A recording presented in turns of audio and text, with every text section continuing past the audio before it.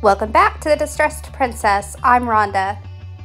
In today's video, I'm playing with milk paint, and here are all the things that I was able to create using this fabulous product. Links will be in my description box so you can try this paint too. The brand of milk paint is called Homestead House, and it is the makers of Fusion Mineral Paint, which you know that I love. So if you take a look on their website, you can see all the different colors that you can get in the milk paint variety.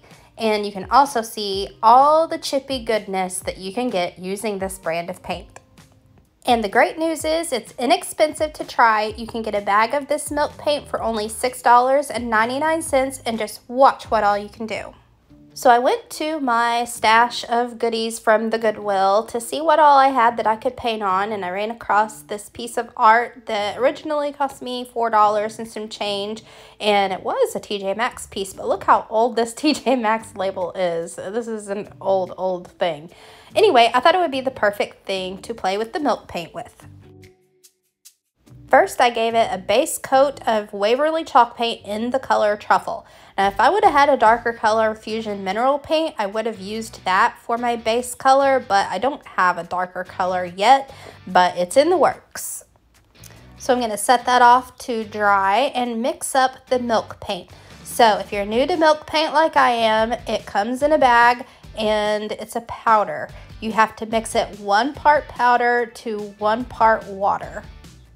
I'm using this old plastic measuring spoon and I thought I would try to mix up just a little bit to start. I didn't want to mix up a whole bunch because I just wanted to really do enough to do this one piece for right now.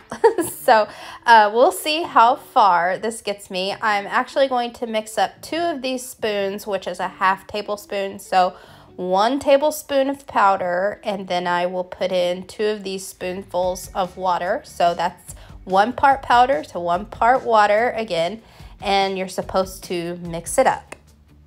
And the instructions say after you mix it up the first time, set it aside and set for about 10 minutes, and then right before you use it, mix it up again.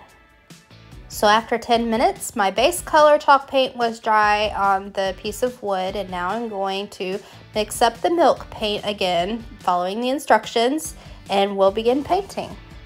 So the first thing you'll notice, or the first thing I noticed about this milk paint is that it is a more watery consistency than what I'm used to because I'm used to using chalk paint and the fusion mineral paint and uh, it's it's just you know got a watery consistency. But that's not necessarily a bad thing. It's just going to take a couple of coats i think to get the coverage that we want. So here's the first coat and i'm drying it up with my hair dryer. I wasn't sure what to expect as far as crackling and getting the chippiness because i know that that's what milk paint is really supposed to do. But on the first coat i really wasn't getting much crackling or chipping and so then I began to paint my second coat. And just like the Fusion Mineral Paint, the second coat of this milk paint looks a lot better. So don't stress if your first coat is transparent and blotchy like this. The second coat is going to fix all that.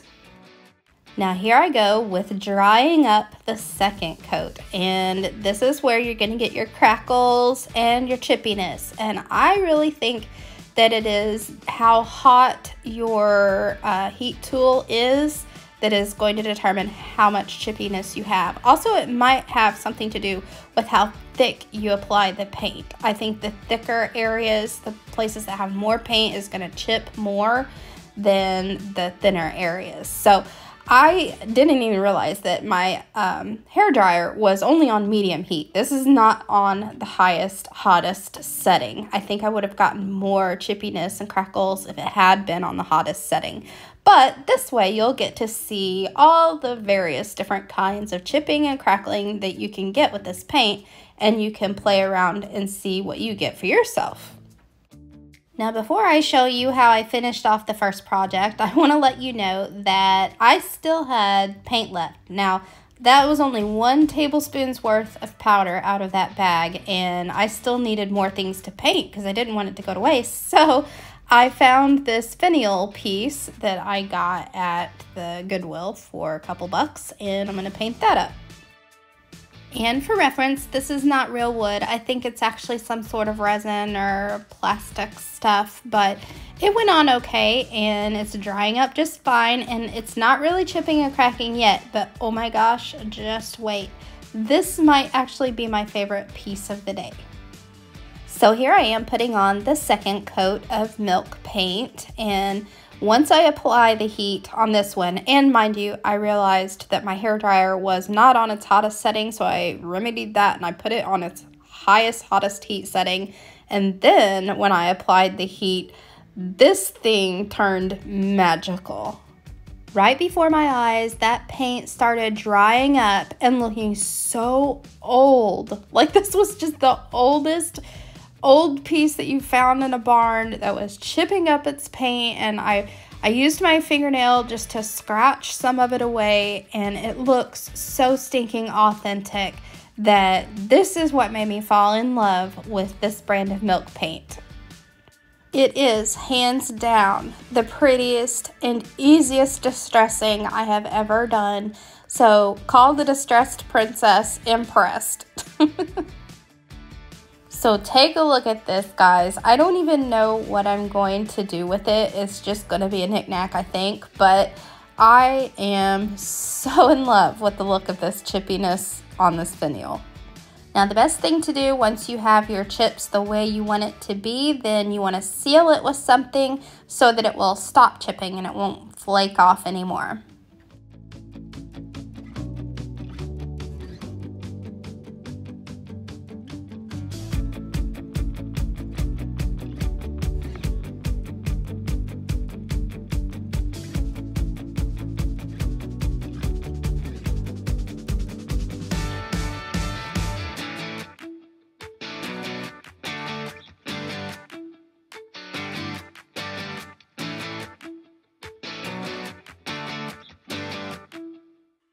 Now before we get back to the first project, I still had paint to use up. So still, this is just one tablespoon of powder out of the package.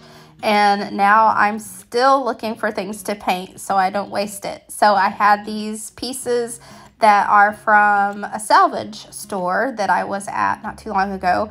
I didn't really know what I wanted to do with them, so they've just kind of been sitting waiting for me to do something. So I decided I would layer up some Fusion Mineral paint on these. So I'm going to start with some white picket fence mineral paint.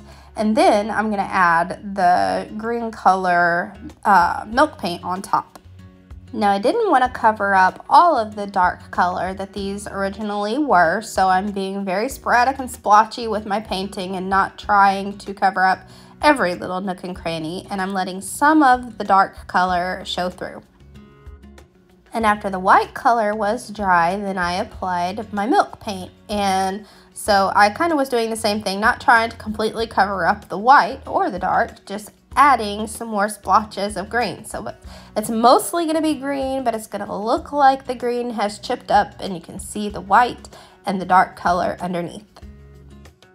Now when I applied my heat to this metal piece, it didn't really chip up like it did on the last resin piece or on the wood, but it just kind of, maybe the metal heats up too hot, too fast, I don't know. But it didn't get the chippiness like the other pieces got.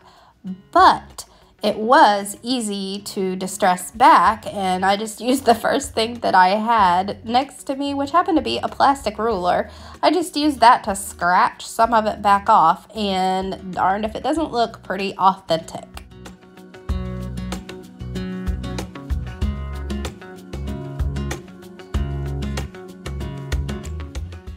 So I finished up the other two pieces and finally that was all of my green milk paint finally used up. Now let's go back to the first DIY and what did I do to finish it up? I had purchased these metal tins from Temu and I will look up the exact price of them. They were about $5 a piece I want to say and I think they're about 11 inches by 7 inches, something like that, 11 by 7. And I thought they might be the perfect thing to go with these distressed, vintagey looking chippy milk paint projects. And yes, look how precious, guys, with that green color.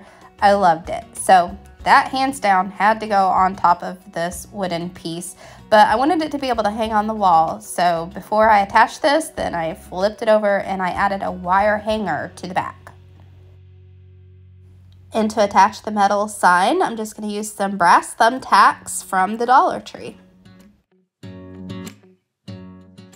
I think this makes the most cute farmhouse or cottage style kitchen decoration I might have ever made.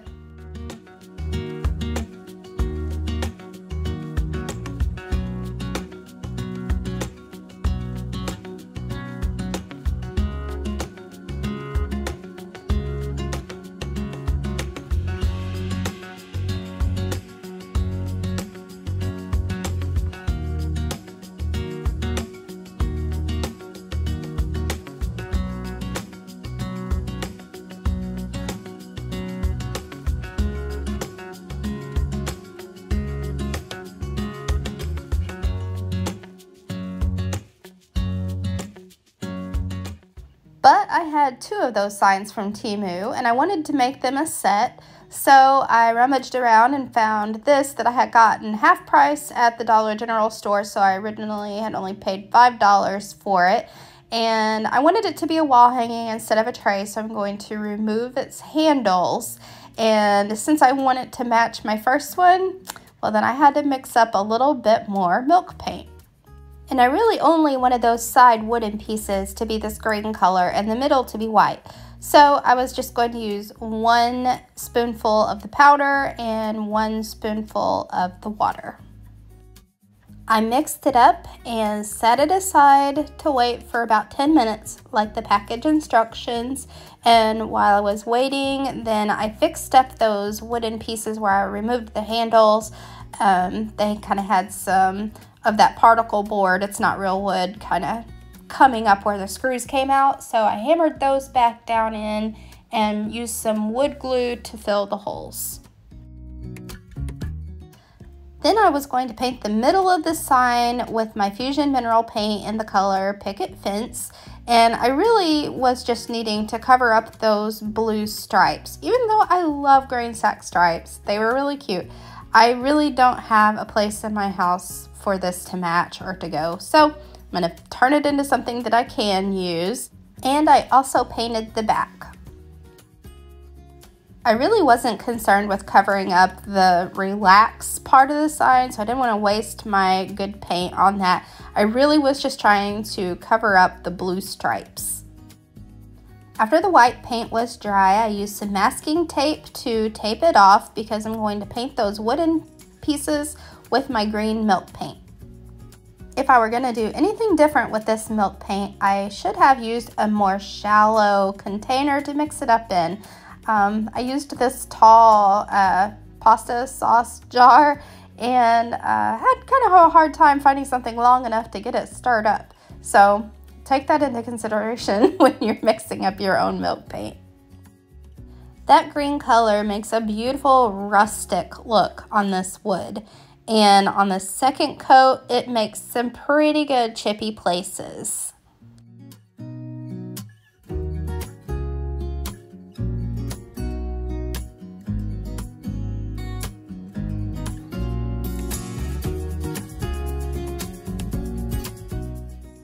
This all came together really quick and I'm all for a quick DIY and especially with a payoff this stinking cute.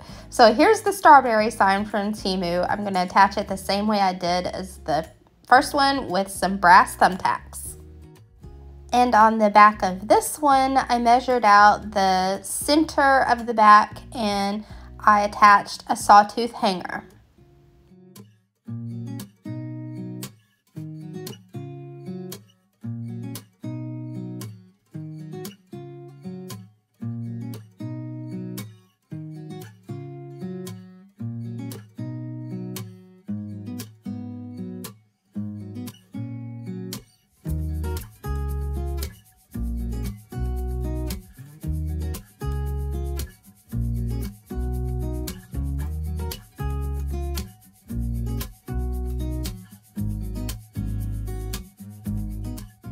Now I still had my metal scrolly pieces that I had painted green that I need to figure out what I wanted to do with and I thought maybe one of them would be cute on a wire basket. This is one that I've got at the Dollar Tree. It originally was a brass color and I had painted it black. They actually sell them in black now, so you can start out with a black one if you like. Now I want it to be white, but I want it to be chippy white, so I want some of that black to show through. So I'm using my Fusion Mineral Paint in the color Picket Fence, and I'm just going to blotch and splotch that paint all over this wire basket and just make it look like the black is showing through and the white has chipped off. And then I just wrapped some jute string around the center of it and tied it to the front of the wire basket. I still have two of those scrolly pieces left that I don't know what I'm going to do with.